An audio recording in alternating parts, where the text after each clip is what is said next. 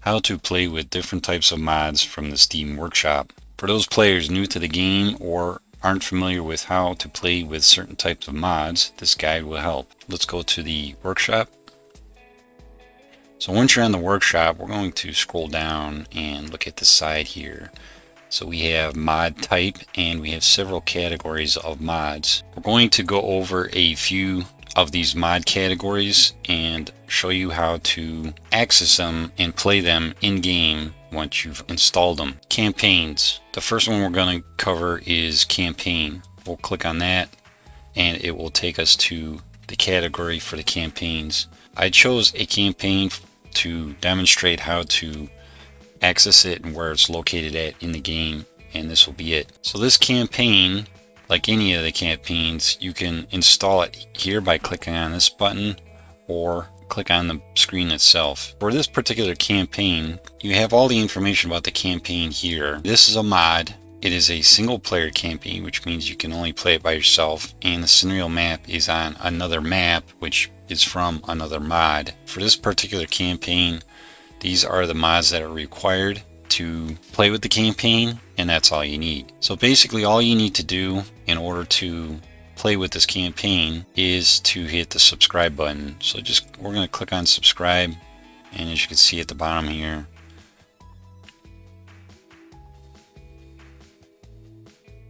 Alright, so the download is complete. Just be sure that you have these required mods. You'll see a check mark if you do. And what we do next is we start up the ARMA 3 launcher.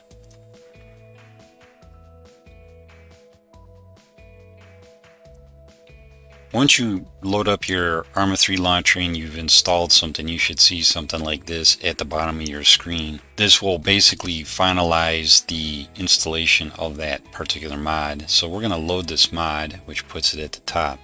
Now just a note, this campaign requires three other mods. So when you see this red chain here, that means that it's missing.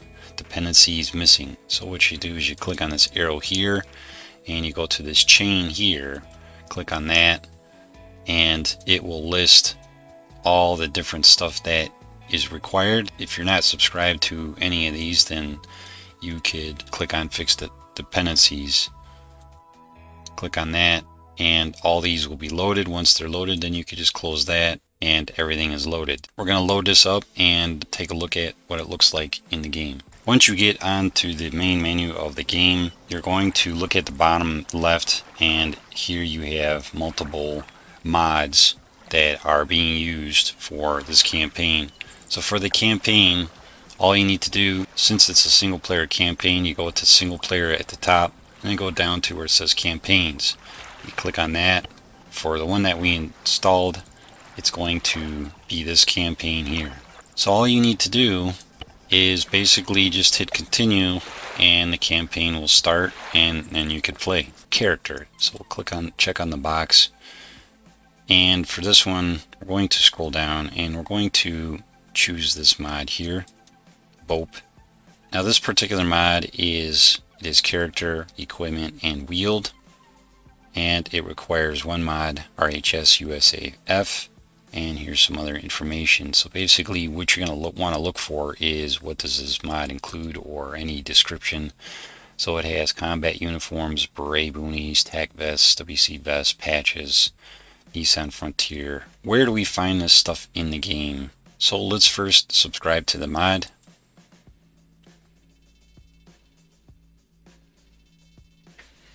alright the download is complete. So you start your ARMA 3 launcher. And what you're going to see is this mod here.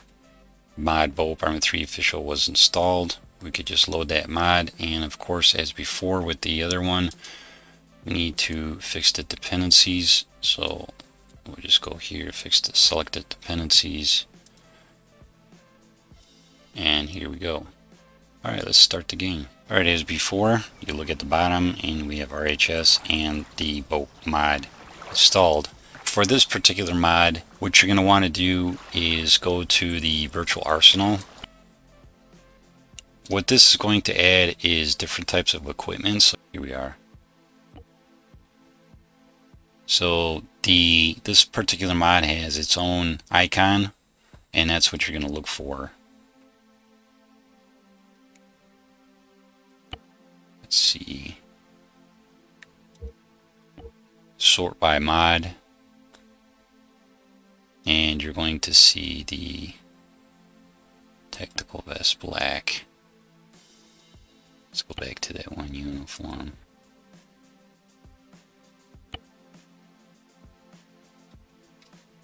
And that's it.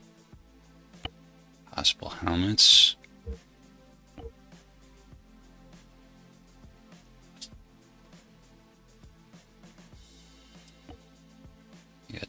The.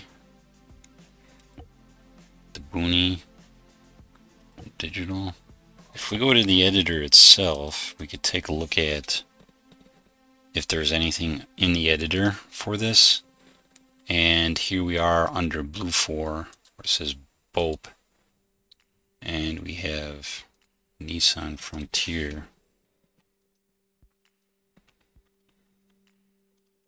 So this is the vehicle.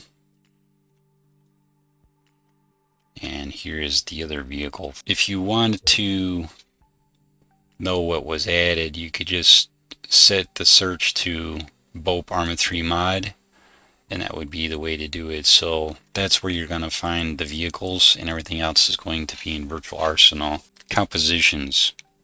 So the next mod type category that we're going to cover is compositions. Here there is no compositions, so you actually have to go down to the composition type, which is this section here. Let's go to artillery and we're going to set this to most popular and then to all time and we're going to scroll down and we're going to choose this particular composition.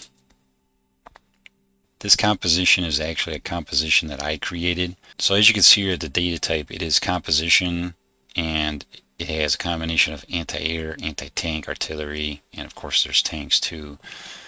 The dependency is on another mod. The file size is not very big. And if you scroll down, it requires one mod, which is IFA3AIO. So this has variants of vehicles and tanks and cars. So it's kind of like a collection of assets put together. But basically what we need to know is when I subscribe to a composition, how do I access it or how, how do I find it in game? Now understand that compositions are not mods. They are basically placed assets and they're done through the editor. First, let's subscribe to the composition. And as you can see here it's done. And we have the IFA3 AO mod installed already. So let's start up ARMA 3 you're not going to see any mod being installed or anything in the launcher itself this particular composition does require IFA3 so we're going to go to my presets and choose IFA3AL, which requires another mod, Cup Terrains Core and we're going to start up the game and I'll show you where this composition is going to be at. Alright, on the main menu, so here we have Cup Terrains Core and IFA3. So what you're going to do for, for compositions is you're going to go to the editor and we're going to basically just choose virtual reality. Now all compositions are generally the same in how you access them and how you use them.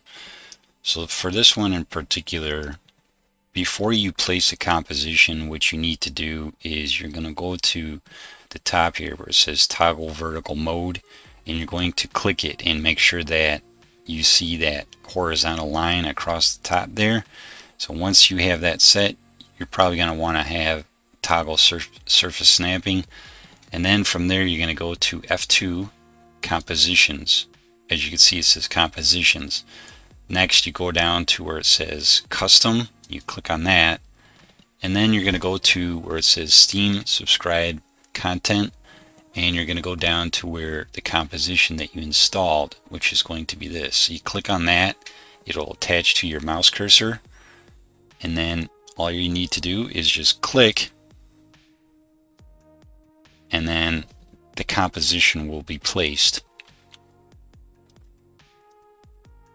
So this composition in particular adds over 50 variants of existing vehicles from IFA 3 editor extension. So the next mod type we're going to look at is the editor extension. And for this particular one, we're going to set to all time. And we're going to scroll down a little and choose 3Den Enhanced. What this mod does in particular is it's an editor extension. It adds more functions and other aspects to the Eden editor. Let's take a look at this in game. Alright, on the main menu, here is the mod that we loaded. And for this, we just go to the editor, we'll go to virtual reality. Now this particular mod, as I said, adds more functions to the Eden editor. There might be some added functions or settings and stuff so if we go to attributes and go to general, this panel has been adjusted a little bit so there's a lot more things that you could choose from. A lot more different functions.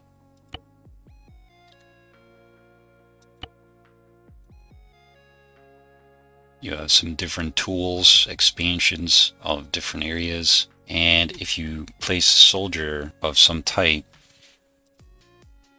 then you'll see that the menu for the soldier, the attributes has changed. There's a lot more uh, different settings that you could choose and set based on what you are trying to accomplish.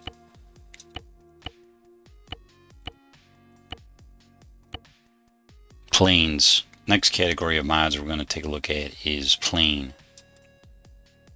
Now for this one, we're just going to choose this new mod here. A1H Skyraider. So for this particular mod, you have mod, and then it's a plane type.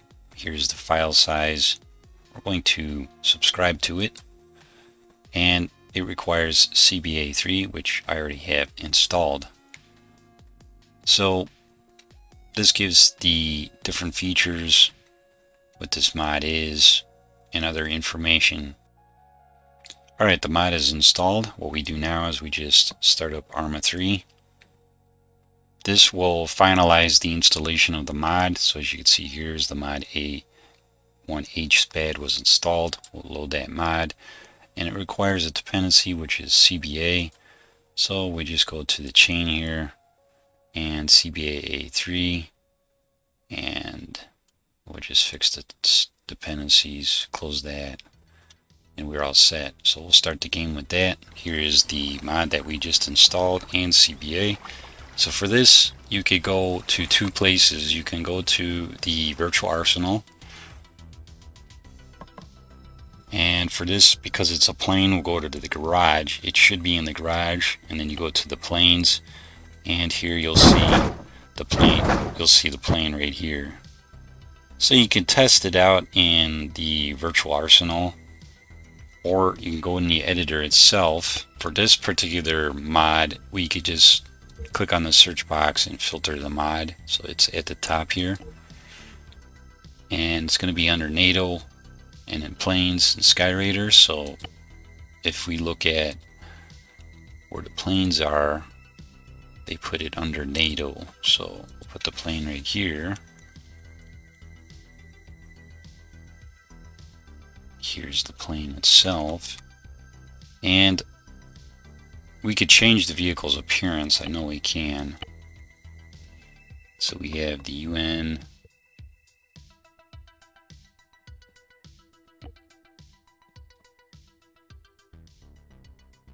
Terrains.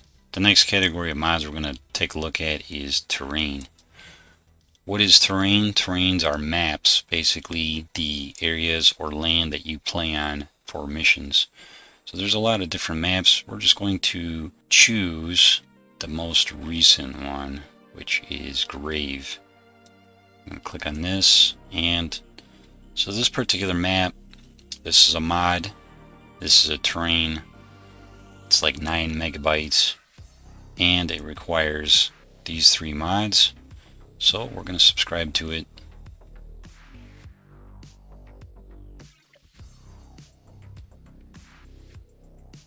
Alright, the terrain is finished installing. We'll go to ARMA 3. Alright, mod grave Netherlands was installed. We'll load that mod. And of course it has dependencies. So we'll go to the dependencies. It has three dependencies. So we'll fix that. And here we are. So now we just click play.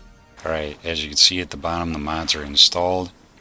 And for terrains, what you do for these is you go to the editor and what you're going to look for is the name of the terrain that you subscribe to which is for in our case is going to be this one Grave Netherlands and you just hit continue and that loads the terrain that you subscribe to.